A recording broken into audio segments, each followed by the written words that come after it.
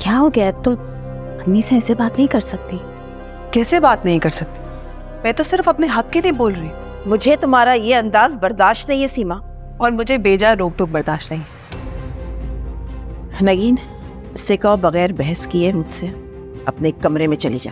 मैंने आपसे कहा ना कि मुझे काम से जाना है ज़रूरी है।